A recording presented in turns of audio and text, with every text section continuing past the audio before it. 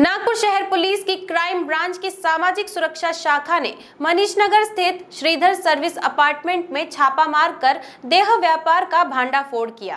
कार्रवाई में पुलिस ने मुख्य आरोपी जयताला रोड निवासी आकाश बुझारू साहू को गिरफ़्तार किया और मौके से 23 और 24 वर्ष की दो महिलाओं को छुड़ाया।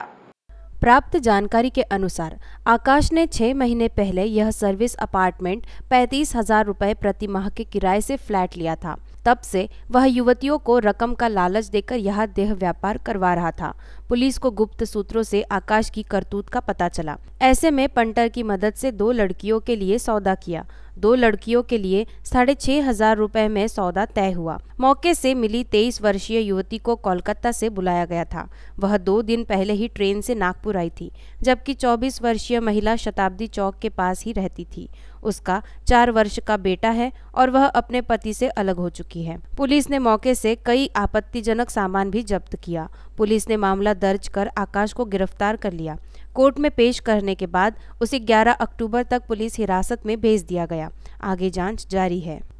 काल आम्ही ऑफिसमध्ये बसले असताना गुप्त बातमीद्वारा कडून माहिती मिळाली. श्रीधर सर्व्हिस अपार्टमेंट मनीष नगर जवळ. इथे एक ओयो लॉज या ठिकाणी अनैतिक देह व्यापाराचा व्यापार देह व्यापारात चालू आहे. त्या खबरीवरून आम्ही वरिष्ठांना माहिती देऊन पॉइंटर पंटर पाठवून कन्फर्म केलं की तिथे देह व्यापाराचा व्यवसाय चालू आहे अनैतिक देह व्यापार.